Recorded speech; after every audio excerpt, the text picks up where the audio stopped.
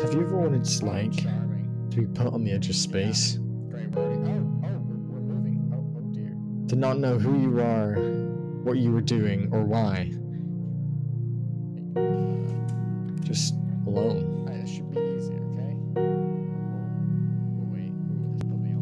If you lost everything in a matter of seconds, stranded across a galaxy you don't even know, using a pod wasn't even designed to be used, what would keep you going? Oh. I guess we'll have to find out. Because this tin can experience, ladies and gentlemen, I can it gives you a whole other feeling as to what we expect in our future. So all I can ask of you guys is what would you do if you were stranded in space?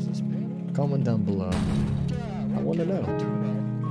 And if you like this, like it. If you don't, no. But without further ado, welcome spacers to our new upcoming series of the Tin Can Survival. Will I survive or will I die? Well, God help us all. Something to worry about for sure. Is that it?